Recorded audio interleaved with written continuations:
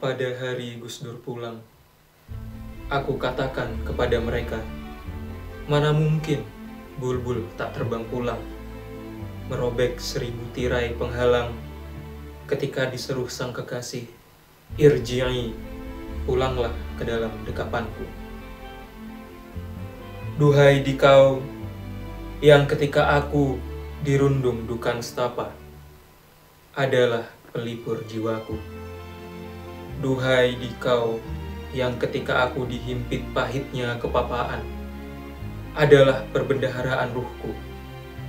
Duhai dikau yang ketika aku ditelikung kegelapan adalah cahaya hatiku.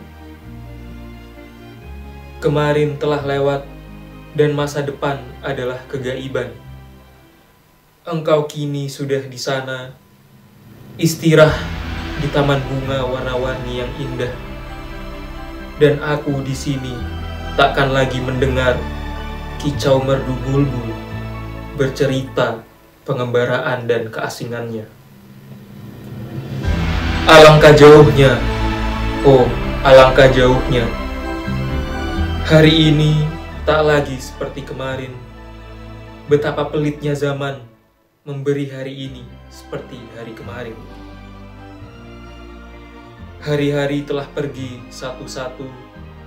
Segala yang tak kekal hilang senyap.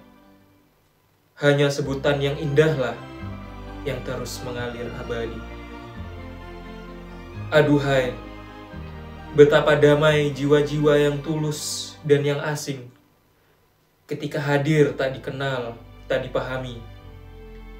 Ketika pergi dicari-cari, Merekalah kandil-kandil yang bersinar cemerlang. Berkat mereka, wajah-wajah buram, kusam, masam, tampak benderang. Dan engkau, oh kekasihku, hatiku, Gus Dur, adalah mereka. Duhai kekasih ruhku, para pecintamu merinduimu. Kelezatan berjumpamu menitipkan rasa damai. Mereka menyampaikan salam untukmu dan mengharapkan rengkuhan kasih Tuhan bagimu. Di manakah engkau?